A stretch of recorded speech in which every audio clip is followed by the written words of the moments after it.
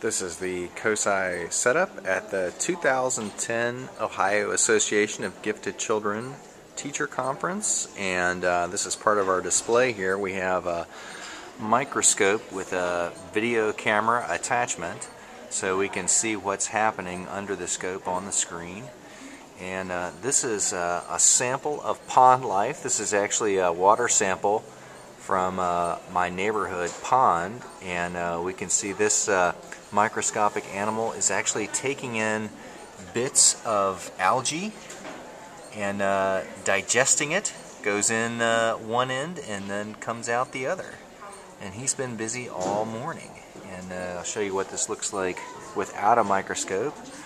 This is the sample here lots of algae in there and I've put it into a sample tube like this and what we're actually seeing under the microscope is just this very thin section at the very end of the test tube that's underneath the uh, microscope. And then we've got it slightly larger on the uh, screen here for us to take a look at. Oh, started to swim away. Where is he? Oh. There he is, right there. Let's see if I can focus a little better. So teachers are able to come by and take a look at this uh, fella having his breakfast.